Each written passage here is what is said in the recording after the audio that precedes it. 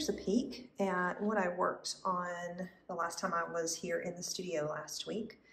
These are little hardboard panels. I believe they're four inches by four inches as far as the size goes. And when I left them, they were still wet and you never know when you come back and they're dry if you're gonna love them as much, which I'm happy to say I do love them just as much.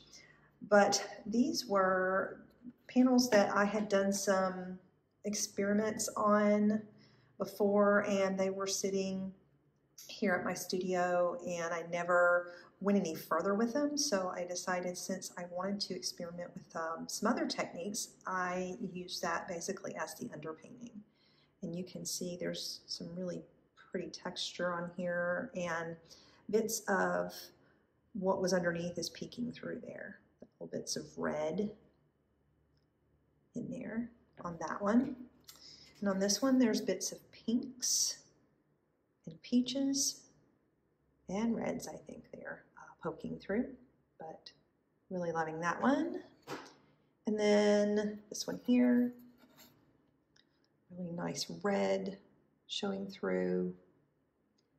But yeah, this is what I worked on um, last week in the studio, the last day I was here, and pretty pleased with how these ended up working out. Here are some close-ups for you so you can really get a good sense of the layers and the texture of the paint layers. I'm thinking of calling these linear landscapes.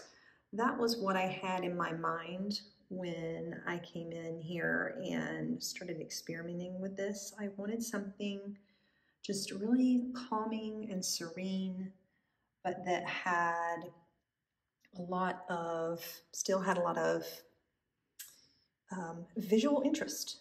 So calming, but yet still had, was visually uh, appealing as well. To give you a little insight as to the process of creating these little pieces, these uh, final layers that I did on these, I used both uh, heavy bodied acrylics and some also some fluid acrylics. And I used my Catalyst Wedge, which obviously you can see it's very well loved. this thing, I use it so much. Also used my color shaper a little bit, uh, but really more so to get paint out of my jars here. And then also uh, I used a couple of brushes. I used this really stiff fan brush here and really wide flat brush as well. But uh, for this, this was some of the first layers I did was with this brush. And then I did some layers with the Catalyst Wedge.